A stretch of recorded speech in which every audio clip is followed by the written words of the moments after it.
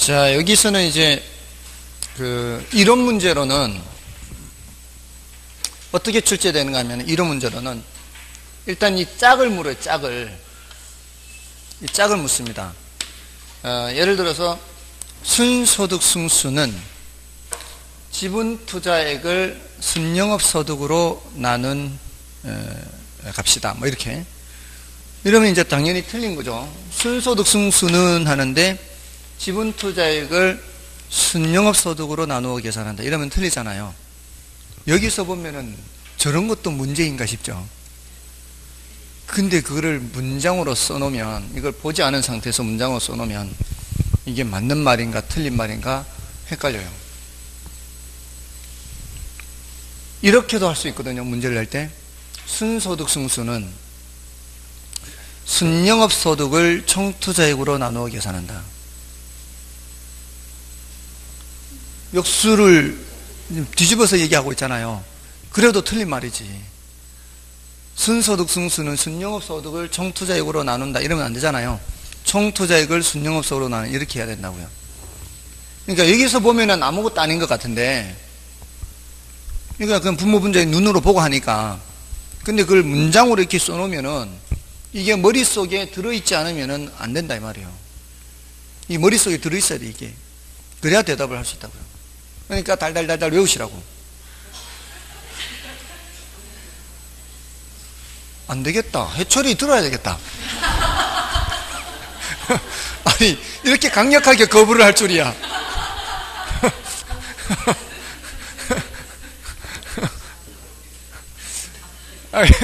외워야 됩니다, 이거. 이거 이론으로도 그렇게 나오고 계산으로도 나오는데 그걸 안 하겠다는 거는 이거는 취미로 공부하겠다는 얘기 아니에요. 저는 취미로 가르칠 생각 없어요. 예, 합격을 위해서 공부를 해야지. 아시겠죠? 예, 외우셔야 돼요. 말을 물가로 끌고는 갈 수 있어도 먹일 수는 없다는 게 참 안타까울 뿐입니다. 예, 먹일 수도 있다면 얼마나 좋을까. 예, 아무튼 외우셔야 돼, 이거. 자, 그렇게 하고요. 예, 다음에, 자, 비율 분석법도 마찬가지예요. 비율 분석법도 이게 문장으로도 이렇게 출제하지만 계산 문제로도 나온단 말이에요. 예, 비율 분석법에서는 비대부채 하죠. 예, 비대부채 하는데 대는 대부 비율이죠. 대부 비율은 저당 비율, 융자 비율, 저당 비율이 이제 그 다음으로 많이 쓰는 거예요. 이 정도는 에, 외우고 있어야 되겠죠. 에, 그 외에 이제 융자 비율, 담보 인정 비율, 차입 비율, 대출 비율 굉장히 다양한 게 많습니다. 똑같은 뜻을 갖고 있는 게. 에, 근데 얘는 뭐하고 구별돼야 되는가 하면은 부채 비율하고는 구별돼야 되거든요. 부채 비율은 내 거분의 남의 거예요. 지분분의 저당해서 내 거분의 남의 거란 말이에요. 근데 얘네들은 다 뭐예요? 얘네들은 뭐 융자 비율, 담보 인증 비율 영어로는 LTV죠. 이거는 전체에서 남에게 차지하는 비중이죠. 음, 전체에서 남에게 차지하는 비중. 전체에서 저당. 이건 내 거분의 남의 거 이렇게. 됐나요? 그래서 대부 비율이 60%다 그러면은 남에게 60%다 이렇게 기억해도 관계가 없어요. 그러니까 대부 비율은 남의 거 비율 이렇게 기억해도 돼요. 예, 근데 부채 비율은 내 거분의 남의 거니까 대부 비율이 60%면 내 거는 40%에요, 40%. 그러면 여기 부채 비율은 40분의 60 이렇게 된다 이 말이에요. 여기가 70%면 남의 게 70%, 내 거는 30%. 그러면 30분의 70 이렇게 돼야 돼요. 그래서 부채 비율은 항상 분모 분자를 더해서 전체 자본이 돼야 돼요. 100%가 돼요. 100%. 되죠? 예, 여기가 여기가 20%면 여기가 80%란 얘기예요. 여기가 90%면 여기가 10% 이렇게 된다 이 말이에요. 아시겠죠? 부채 비율은 남의 거다. 이거 구별해야 된다고요. 됐죠? 다음에 부, 부채 감당률이죠. 부채 감당률은 부채를 감당할 수 있는 능력. 누가 부채를 감당한다? 순영업 소득이 부채를 감당하는 거예요. 그래서 순소득 나누기 부채 서비스액 이렇게 하죠. 순소득 능 부채 서비스. 자, 요 값은 1보다 클수록 좋은 거예요. 1보다 클수록 좋은 겁니다. 1이면은 뭐가 되는 거예요, 이게?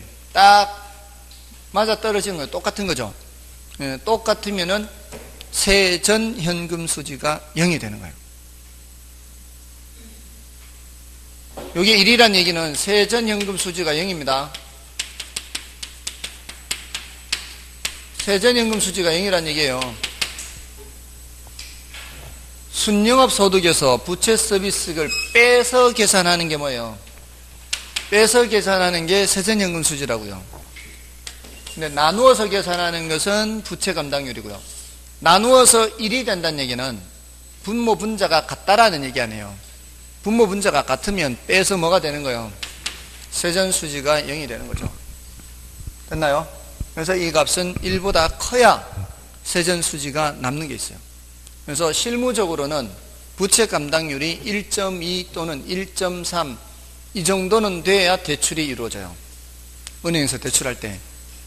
1.2 또는 1.3. 그러니까 부채 서비스에게 1.2배 또는 1.3배는 되어야 대출이 승인이 떨어진다고요.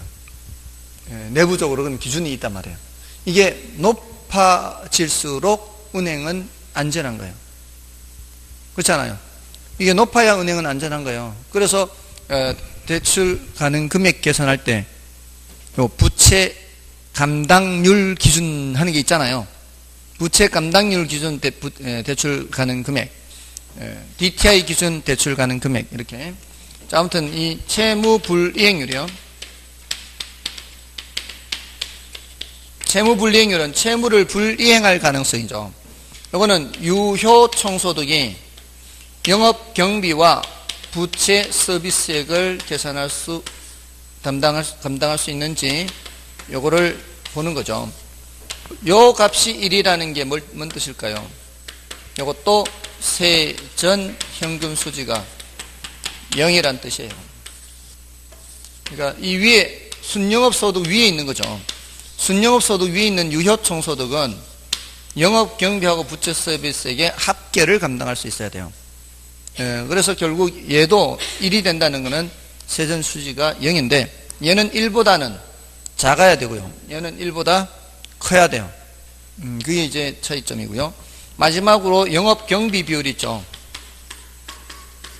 영업 경비 비율은 영업 경비가 차지하는 비율이에요. 영업 경비가. 어디에서? 총소득에서. 예, 이게 이제 유효로 출제되는 경우가 많은데 어떤 때는 가능으로 출제가 되니까 문제에서 주는 대로 하면 되는 거예요. 예, 많이 출제되는 것은 유효. 많이 출제는 간혹 가다가 가능 총소득을 낼 수도 있어요. 음, 이제 그거 가지고 계산하면 되는 거예요. 자, 이렇게 해서 대부채, 대부채, 예, 대부채, 이렇게. 경비 비율까지 하면 이제 다 되는 거죠. 됐나요? 자, 이건 이 자체가 계산 문제입니다. 부채 감당률 하면 빨리 뭘 찾아야 돼요? 순영업 소득과 부채 서비스. 예, 그 다음에 채무 불이익률 하면은 예, 유효총 소득과 영업 경비, 부채 서비스. 이렇게. 이 자체가 계산 문제입니다, 이거는. 이것도 이 자체가 계산 문제고 전부 다 계산 문제죠. 계산 문제. 다 나올 수 있어요. 네. 특히 여기서는 부채 감당률, 채무 이게 특히 부채 감당률 이거 조심해야 되고요. 대부 비율은 뭐 이루 말할 수 없고요. 대부 비율은 뭐 엄청 자주 등장하는 거고요. 자, 그 다음에 이제 이거 말고 이제 계산 문제로 나올 수 있는 게 대출 가능 금액이죠. 대출 가능 금액 계산할 때 DTI 기준이 있고 LTV 기준, 음, LTV 기준, DTI 기준. 이렇게 나오는 거는 주택이 주택. 주택의 경우에는 주택의 경우에는 LTV와 DTI 이렇게 나오고 에, 수익성 부동산은 어떻게 나와요? 수익성 부동산은 LTV하고 뭐가 나와요? LTV하고 부채 감당률 DSCR 이렇게 나와요.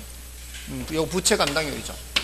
그래서 LTV 기준으로는 LTV 기준으로는 LTV 기준 여기는 뭐하고 뭐가 제시가 돼요 문제에서 부동산 가격이 제시되면서 LTV가 제시되죠 음, 곱하기만 하면 뭐가 나오는 거요? 대출 가능 금액이 나오고 여기 DTI 기준에서는 그래서 연소득이 나오죠. 이쪽엔. 연소득이 나오고 DTI 나오잖아요. 그러면서 뭐가 나와요? 저당 상수가 나오죠. 자, 여기서는 DTI를 곱한 후에 저당 상수를 나누기 하면은 대출 가능 금액이 나온다. 이 둘 중에 큰 쪽, 작은 쪽, 작은 쪽으로 이제 예, 대출 가능 금액 계산하면 되고요. 여기에서 약간 변형된 것이 기존에 대출금이 있을 때는 어떻게 하고요? 기존에 대출금이 있을 때는 이렇게 계산한 후에 최종적으로 계산한 후에 이제 나중에 빼는 거고 기존의 대출금에 따른 부채 서비스액을 줄 때에는 여기서 빼야 돼요. 여기서. 기존에 대출금이 있을 때는 다 계산한 후에 빼는 거고 기존의 대출금을 알려주지 않고 기존의 대출금이 얼마인지는 모르는데 기존의 대출금 때문에 예, 지금 부채 서비스액 상환하는 금액이 얼마 있다면은 이 사람의 연소득에서 DTI 곱한 요 한도, 요 한도에서 빼기 해가지고 나누기 해서 계산하면 되는 거고. 예, 그 변형된 거는 어려우면 패스하면 되니까. 항상 스트레스는 받지 마세요. 스트레스 받지 마시고, 예, 좀 어렵다 하면 이제 기본형만 한다, 이렇게 생각하면 되죠. 다음에 이제 이쪽은 부채 감당률이죠, 이제. LTV 기준, 부채 감당률 기준. LTV 기준, 여기 마찬가지 부동산 가격과 뭐가 나와요? LTV가 나오면 그 두 개를 곱하기 하면 대출 가능 금액 계산이 돼요. 이건 뭐, 음, 됐고요. 그 다음에 이쪽 부채 감당률 기준은 여기는 순영업 소득이 나온단 말이에요. 여기는 연소득이 나오지만 여기는 부동산의 순영업 소득이 나와요.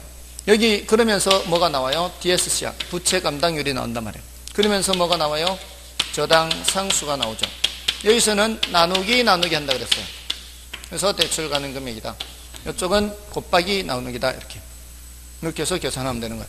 자 그러니까 이 매뉴얼을 기억하는 겁니다. 계산 문제는 자 계산 문제 했어요 또 계산 문제 한 거요. 매뉴얼이에요 매뉴얼 계산 문제는 매뉴얼. 자 그럼 되고요. 자 그게 이제 그 총부채 상환 비율 그 107쪽에 음, DTI 기준으로 하는 거죠. 에, 근데 이제 이론적으로 얘기할 때 그 총부채 상환 비율 그 공식을 보시면은 당해 대출 원리금 상환액 뿐만이 아니라 뒤에 뭐라고 돼 있어요? 기타 부채 연간 이자 이렇게 돼 있잖아요. 예, 기타 부채 연간 이자도 어, 따지거든요. 예, 그래서 어, 보통은 이제 그 당해 대출 원리금 상환액만 얘기하지만 예, 원래는 그 기타 부채 연간 이자까지 포함해서 이론적으로 얘기합니다. 아, 다음에 이제 화폐 시간 가치를 고려하지 않는 기타 방법에서 뭐가 있어요? 단순 회수기간법과 회계적 수익률법이 있죠. 자, 이런 것들은 화폐 시간 가치를 고려하지 않는 기타 방법에 들어갑니다. 그 회계적 수익률법이라는 거 있잖아요. 단순 회수 기간은 뭔가 하면은 단순 회수 기간은 요거 이제 우리 시험에서는 시간 가치를 고려하느냐 안 하느냐 이런 쪽으로 들어 이제 등장하기도 하고요. 계산 문제로 출제되기도 했는데 단순 회수 기간은 이거예요.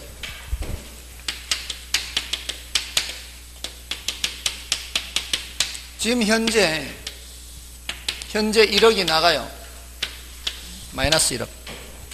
첫 해, 둘째, 셋째, 넷째, 다섯째 이렇게 돈이 들어오는데 첫해 2천 들어오고 둘째 3천 들어오고 셋째 4천 들어오고 넷째도 4천 들어오고 다섯째 5천 들어오고 자 이렇게 돈이 이렇게 들어와요. 자 이렇게 들어오면은 1억이 다 들어오려면 자 여기 이제 2천이 여기서부터 꾸준히 2천입니다. 여기서 또 꾸준히 해서 3천이요. 그러니까 똑같이 들어오는데 1년간 2천이고 똑같이 들어오는데 1년간 3천이고 그 뜻입니다. 똑같이 들어오는데 1년간 4천. 그러니까 그 해, 그 해는 일정하게 들어오는 거예요. 그 해, 그 해는. 그걸 가정을 하는 거예요. 자, 그랬을 때 이게 1억이 회수되려면 이 말이에요. 첫 해 지났을 때 2천 회수됐죠. 두 번째까지 가면은 5천, 세 번째까지 가도 9천밖에 안 되잖아요. 이때 얼마가 더 들어와야 돼요? 천이 더 들어와야 되잖아요. 그 천은 4분의 1이잖아요. 그러니까 1, 4분기가 지나야 돼요. 그러니까 석 달이 지나야 되죠. 총 몇 년몇 개월? 3년 3개월. 이게 무슨 기간? 단순해져. 그냥 더하기만 하면 되는 거예요.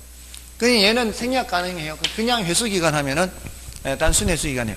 조금 전에 지웠던 에, 자본 회수 기간, 순소득 승수를 다른 말로 뭐라 그랬어요? 자본 회수 기간이라 그랬잖아요. 순소득 승수를 자본 회수 기간 했는데 그 자본 회수 기간하고 얘하고 차이점이 뭘까요? 자본회수기간하고 단순회수기간하고의 차이점은? 요거는 매년 매년 금액이 다르죠. 그러니까 매년 매년 금액을 각각 다 예상을 하는데 아까 자본회수기간 순소득 승수는 첫 번째 것만 계산해요. 두 번째 거는 계산 안 하잖아요. 첫 해 순영업 소득만 계산해서 그 다음은 매년 매년 같은 금액이라고 가상하는 거예요. 매년 똑같은 금액이 들어온다면 하는 거고 순소득 승수는 얘는 매년 매년 들어오는 돈을 각각 계산하죠. 그러니까 어떤 게 조금은 더 정확한 방법이라고 볼 수 있어요. 여기에 조금은 더 정확한 방법이라고 볼 수 있어요. 이거는 매년 매년 걸 다 계산하니까. 됐나요? 예, 그러면 이제 현가 회수 기간은 뭘까요? 나, 나온 김에 현가 회수 기간은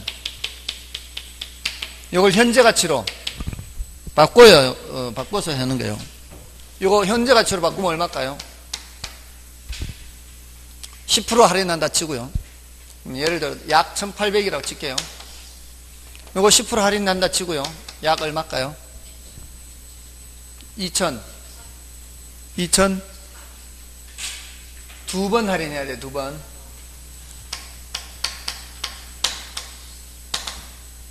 (2400보다는) 더 커요 음, 이제 대략적으로 한 거예요 대략적으로. 이거는요.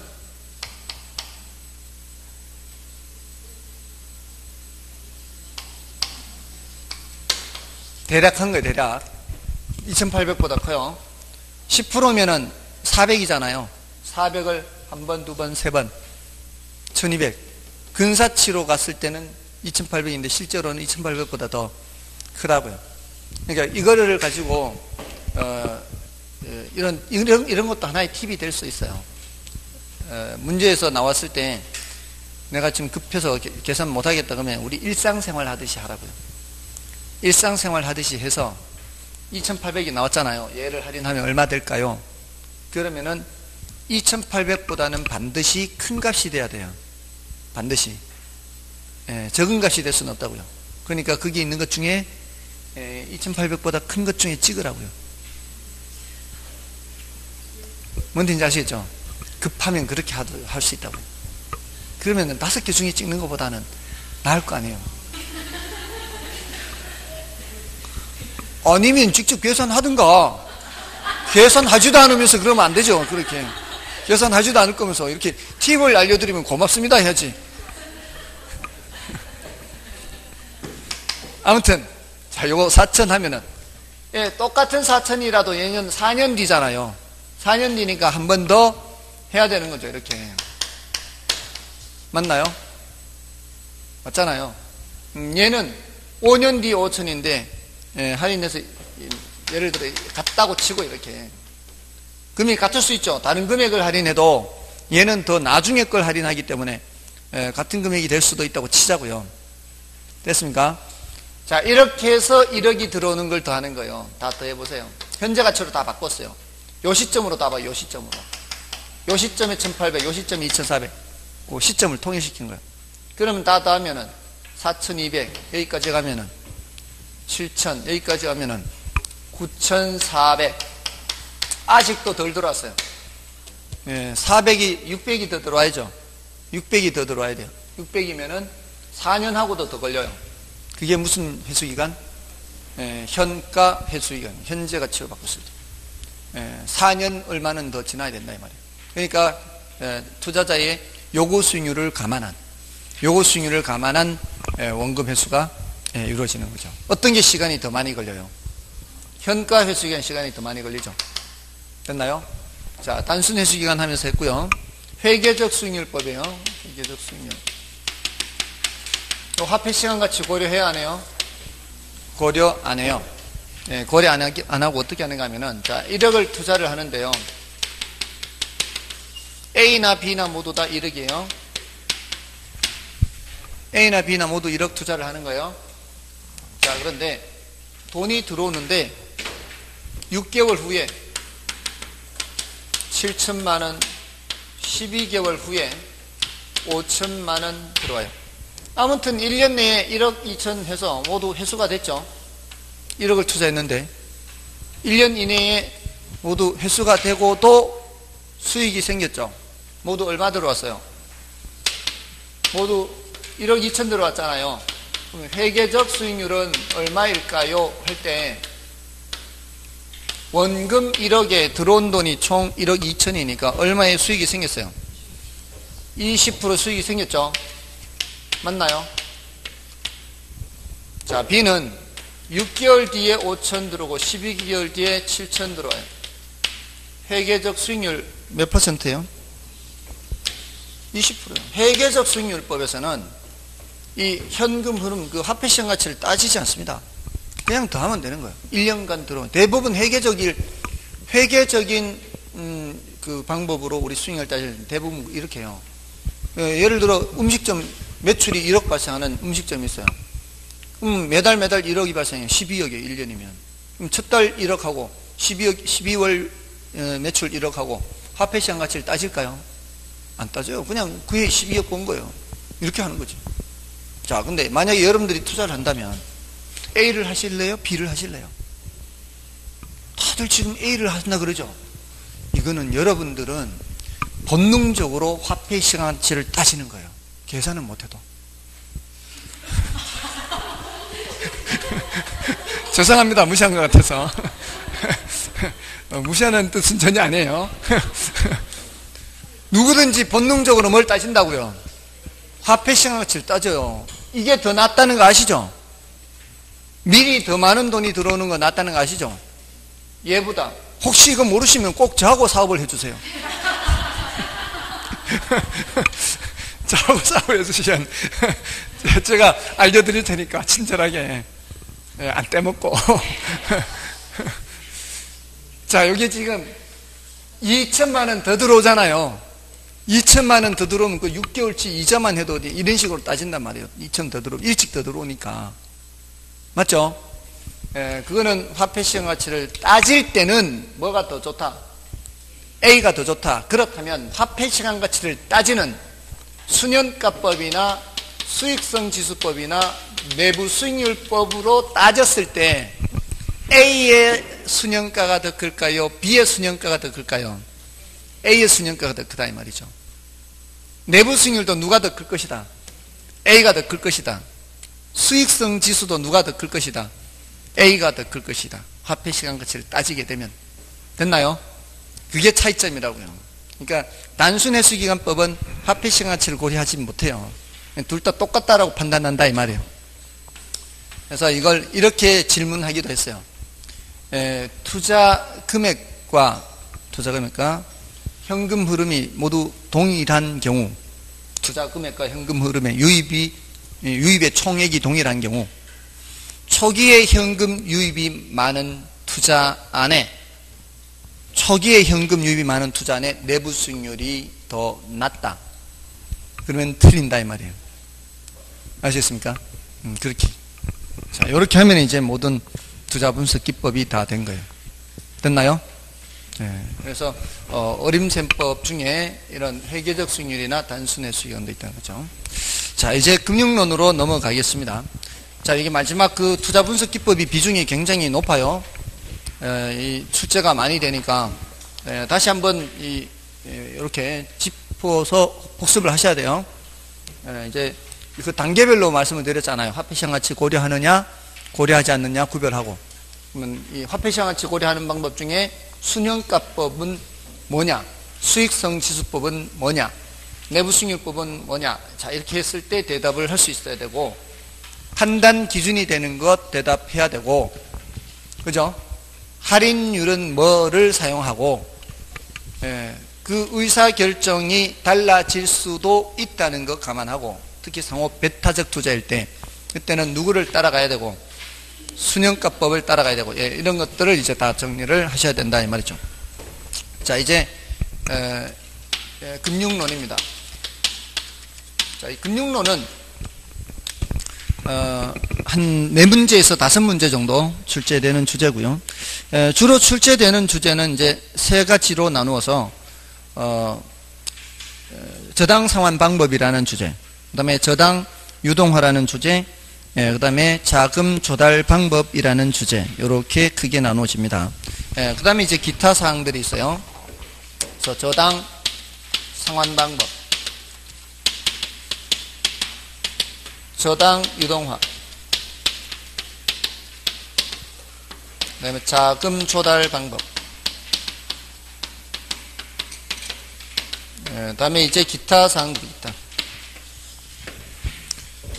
예, 이 저당 상환 방법이 가장 많이 출제됩니다. 여기는 이제 예, 고정금리, 변동금리 하는 게 있고요. 원리금 균등, 원금 균등, 체증식 이렇게 구별을 하는 게 있죠. 그다음에 이제 저당 유동화에서는 저당 유동화의 개념, 구조, 효과, 증권 이렇게 네 가지 주제가 있죠. 여기 예, 좀 난이도가 높은 편이죠. 예, 그 다음에 자금 조달 방법에서는 리츠, 프로젝트 파이낸싱, 그 다음에 신디케이션, 예, 또는 뭐 조인트 벤처 뭐 이런 게 있고요. 이 뒤에 거는 별로 중요하진 않습니다. 이게 지분 금융이냐 부채 금융이냐 뭐 이런 정도 구별하면 되는 거예요. 다음에 이제 기타 사항에는 뭐 지분 금융, 부채 금융 하는 뭐 그런 예, 용어들 있죠, 용어. 예, 그 다음에 한국주택금융공사의 업무에 대한 거. 예, 모기지론 하는 거. 예, 또는 영모기지, 주택연금 이런 이제 기타 사항들이 있습니다. 예, 그 중에서 우리 교재 앞쪽에는 예, 그 109쪽은 뭐 별로 할 거 없어요. 110쪽에 가시면은 지분금융과 부채금융 구별하는 거 있죠. 자, 그거는 체크를 해 두셔야 됩니다. 에, 그 밑에 지분금융, 부채금융 있죠. 에, 그 정도는 중요하고요. 그 밑에 있는 그 표의 맨 밑에 있죠. 그 소비금융과 개발금융 하는 거 있죠. 소비금융은 부동산을 수요하는 경우에 자금 융통이고요. 개발금융은 부동산을 개발하여 공급하는 경우에 자금 융통을 말합니다. 보통 소비금융은 장기 저리고 일시불로 융자하고 분할해서 상환하는 특징이 있어요. 근데 개발금융은 단기 고리로 어, 대출을 하죠. 예, 그리고 단계별 융자이고 일시 상환하는 특징이 있습니다. 예, 이렇게 이제 그, 그 건물 건축 건, 어, 건축을 하는 예, 공급자 입장에서 생각하면 되고요. 개발금융은 예, 소비금융은 수요자 입장에서 생각하시면 돼요. 자 아무튼 그 특히 지분금융과 부채금융의 그 항목들을 구별할 수 있어야 됩니다. 예, 동그라미 2번에 있죠.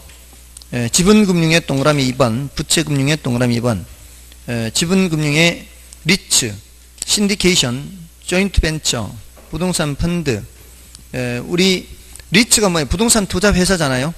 예, 그런 것들이 다 지분금융입니다. 예, 혹시 증자라는 말이 나올 때는 있는데 증자가 뭔지 아십니까? 예, 주식을 더 발행하는 것을 증자라 하죠. 그러면 그거는 무슨 금융이란 말이에요? 지분 금융이다 이런 뜻이죠. 에, 펀드라는 말이 나와도 그거는 지분 금융. 자, 이게 특징이 배당을 해주기 때문이죠. 그 동그라미 3번에 있죠. 에, 다음에 그 부채금융에서도 특징이 예, MBS, ABS 뭐 이런 것들은 정해진 이자 주는 이자, 음, 이자를 주는 것들은 뭐예요? 예, 그는 부채금융입니다. 에, 다음에 이제 111쪽에서는 채무 불이행 위험과 조기 상환 위험, 금리 위험 이런 위험들은 모두 다 누가 부담하는 거예요? 모든 위험을 다 대출자가 부담하는 거예요? 차입자가 부담하는 거예요? 대출자가 하는 거예요. 대출자. 대출자 부담이에요. 에, 여기서 채무 불이행을 하든가 조기 상환하는가 이거는 금융기관 입장에서 생각하는 겁니다. 예를 들어 돈을 이렇게 빌려주잖아요. 돈을 빌려주는 사람 입장에서는 저놈이 제대로 잘 갚을까, 아, 못 갚을까, 이런 걱정하잖아요. 그럼 채무 불이행하게 됐을 때, 그, 물론 채무 불이행하는 사람도 뭐, 자기가 갖고 싶지 않아서 그렇게 하는 건 아니겠죠. 에, 자기도 사정이 안 되니까 못 갚은 거겠지만, 빌려준 사람 입장에서는 그건 네 사정이고, 돈 빌려준 입장에서는 항상 이 돈 빌려준 거를 받을 걱정을 하는 거예요. 그러니까 뭐를 설정하는 거야? 담보를 설정하는 거 아니에요. 그래서 어, 그 채무 불이행하는 거나 조기 상환하는 거나 모두 다 에, 부, 대출자가 부담하는 위험이에요. 아시겠죠? 예, 그거 조심하셔야 돼요. 예, 다음에 그럼 채무 불이행 위험은 주로 언제 많이 발생하는가 하면은 예, 평상시 이, 이, 일상적인 경우 그 유지되는 상황이라면 보통 변동금리에서 금리가 올라가는 경우에 많이 발생해요. 그죠? 이 사람의 상태는 큰 변동이 없어도 시장 상황에서 금리가 올라가는 경우에 그런 가능성이 높아지는 거고요. 그럼 조기 상환 위험은 주로 언제 많이 나타나는가 하면은 고정금리 하에서 시장금리가 낮아질 때 여기는 조기 상환 위험이 많이 나타나요. 됐나요? 음, 그런 것들이 이제 금융기관이 부담하는 위험이다 이 말이죠. 자, 이 정도로 하고요. 자, 이제 고정금리, 변동금리로 넘어가면 되죠. 자, 이 고정금리, 변동금리. 예, 이 고정금리, 변동금리는 예, 뭘 생각하면 돼요? 이, 예, 늘 이거, 이거 연상하시라 그랬죠, 이렇게. 변동금리는 함께 움직이는 거죠, 이렇게. 그러니까 머릿속에 이걸 연상을 하는 거죠. 이게 대출금리고 이게 예금금리죠. 금융기관은 항상 뭐를 먹는 곳이라고 생각하면 돼요. 예대 마진을 먹는 곳이요. 돈놀이 하는 곳이잖아요. 돈놀이 하는 곳인데 대출 금리를 고정시켜 놓는 거죠. 10년이면 10년, 20년이면 20년 기간 동안. 근데 얘는 예, 일정한 주기별로 금리를 바꾸는 거죠. 음, 여기 이제 변동금리. 이때는 이제 어떤 문제가 나타나요? 에, 금리가 상승하는 시기에 금리가 상승하는 시기에는 수익성이 예대 마진이 줄잖아요. 은행 입장에서. 예, 수익성이 악화된다. 이런 표현을 써요. 수익성이 악화된다. 금리가 내려갈 때는 예, 이렇게 수익성이 개선되는 게 아니라 그랬죠. 이때 이제 조금 전에 했던 조기 상환 위험이 커지는 거죠. 자, 그러니까 금리 변동 위험을 누가 부담한다? 금리 변동 위험을 대출자가 부담하는 거죠. 대출자 부담. 자, 그러니까 이 예, 대출자 입장에서는 뭔가 대책이 필요하겠죠. 예, 그 대책 중에 이쪽으로 변동금리로 가는 방법도 있고 예, 이런 경우 이제 대출 고정금리로 대출해 준 상황이라면 이런 상황에서는 어떻게 할 가능성이 있는가 하면은 조기 상환을 유도하는 거예요. 조기 상환을 유도. 수익성이 떨어지니까 조기 상환을 유도해요. 어떻게 하면 될까요?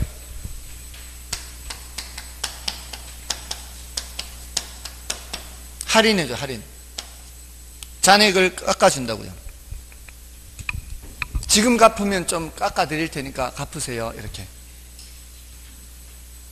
그러면은 갚을 수도 있죠. 음, 어느 정도는 갚을 수도 있죠. 자, 그런 이제 잔고 할인을 하고요. 어, 조기 상환 위험이 나타날 때는 어떻게 할까요? 조기 상환을 하려고 할 때는 조기 상환 수수료를 매기는 거죠. 일찍 갚으면 이제 수수료 매기는 거죠. 음, 그렇게 해서 이제 방지를 할 수가 있죠. 근데 바보같이 이렇게 하지 말고 처음서부터 뭐로 대출해주면 변동금리로 대출해주면 이럴 이유가 없잖아요. 이거는 고정금리로 대출해 줬기 때문에 하는 거 아니에요. 그러니까 처음서부터 뭐로 대출해 주면 변동금리로 대출해 주면 이런 일이 없을 것이다 이런 말이에요. 됐죠? 그래서 나온 게 이제 변동 변동. 예, 이게 자, 요거는 금리 변동 위험을 누구한테 전가시키는 거예요? 금리 변동 위험을 차입자에게 전가시키는 거죠. 그래서 지난주에 공부할 때 지난주에 공부할 때 예, 위험 전가에 나왔죠. 위험 전가. 위험 관리 기법에 처음서부터 내가 위험을 부담하지 않는 위험한 투자를 제외시키는 방법도 있고 나한테 발생하는 위험을 상대방한테 떠넘기는 거 이때 이제 대출자 차입자 나왔잖아요. 예, 대출자가 차입자에게 금리 변동 위험을 전가시키는 거다. 자, 이럴 때 이 변동 금리는 어떻게 책정이 되는 거예요? 이 대출 금리가 기준 금리에다가 뭐를 더한다? 가산금리를 더하는 거죠. 이 기준금리가 일종의 예금금리, 예금금리. 여기에 바로 뭐예요? 은행이 먹는 마진이 가상금리. 그러니까 요, 요게 이제 요만큼이 가상금리가 되는 거죠. 이렇게.